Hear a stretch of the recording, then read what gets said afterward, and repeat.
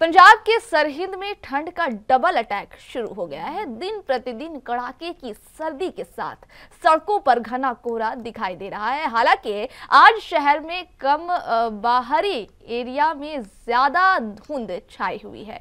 धुंध के कारण सुबह के वक्त वाहन भी रेंगते हुए नज़र आ रहे हैं। मौसम विभाग ने आज सुबह और शाम को घने कोहरे का ऑरेंज अलर्ट भी जारी किया हुआ है। दरअसल दिसंबर माह के पहले सप्ताह में दो दिन अच्छी ठंड दिखाई दी।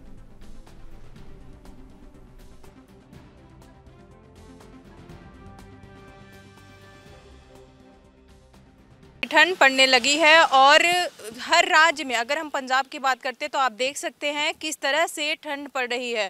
यहाँ आने जाने में भी लोगों को प्रॉब्लम हो, होती है और मेरे साथ यहाँ के कुछ निवासी मौजूद हैं हम उनसे बातचीत करते हैं जानते हैं कि यहाँ पे ठंड किस तरह से अपना पैर फंसा रही है।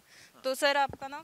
हाँ मेरा नाम तो तजिंदर सिंह है। सर जिस तरह से ठंड बढ़ रही है उस पर आप क्या कहना चाहोगे? हाँ ये देखिए ये पिछले पाँच छः दिन से काफ़ी ठंड पड़ रही है और ये फोग हम जिसको पंजाबी में धुंध बोल देते हैं इसका कहर बहुत ज़्यादा है। अभी हम जब वाहन चलाते हैं तो कुछ भी दिखाई नहीं देता है लेकिन हम आ, ये थोड़ा समा होता है। पंद्रह बीस दिन ये पूरी ठंड है जो ज़ोर से पड़ती है और घर से निकलते वक्त पूरे कपड़े मुँह ढककर और रास्ते में कहीं कोई आग जलाकर बैठा होता तो हम आग सेक के ही टाइम अभी निकाल रहे हैं।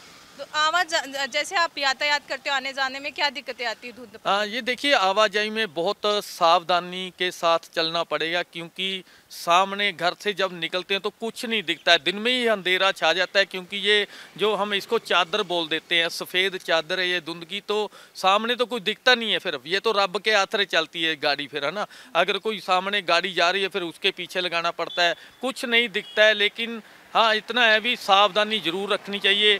ठंड से बचाव करने के लिए ठीक है कपड़े अब पूरे पहनो मुँह ढक के रखो हाथों में ग्लव्स और कहीं चाय मिल जाए तो बात ही कुछ अलग है। नहीं जैसे ठंड की बात करें तो हम आए दिन एक्सीडेंट होते रहते हैं उस पर क्या कहना चाहोगे आप? देखिए एक्सीडेंट तो जब फोग ज़्यादा पड़ती है तो सामने जब नहीं दिखेगा कुछ तो एक गाड़ी अगर टकराएगी तो पीछे लाइन लग जाती है। पहले पंजाब में दो तीन ऐसे हादसे हो चुके हैं।